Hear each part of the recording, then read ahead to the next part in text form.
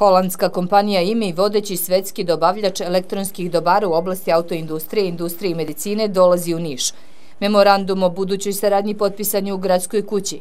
Potpis su stavili predstavnici kompanije, grada i ministarstva. Imam jednu jako lepu vest za Nišlije, da praktično grad Niš će biti u targetu, znači e, ciljano će to biti jedan od gradova gde će vlada Republike Srbije pružiti svu moguću i finansijsku i administrativnu i pravnu pomoć da grad Niš ponovo bude na stazama stare slave.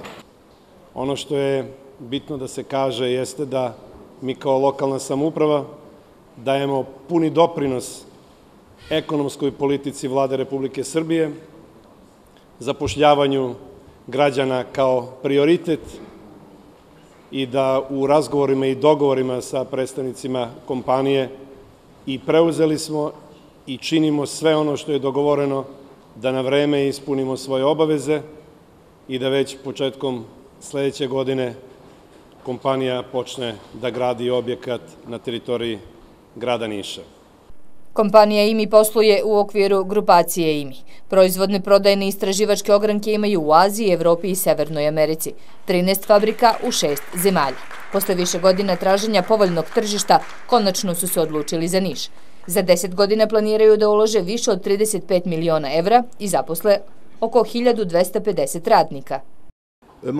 Jedan od glavnih kriterijuma koji je uticao da se opredelimo za Niš jeste prisustvo kvalifikovane radne snage, takođe i posvećenost srpskih vlasti kako na nacionalnom i lokalnom nivou da pomognu realizaciju ovog projekta i da zapravo im i dođe ovde u Niš.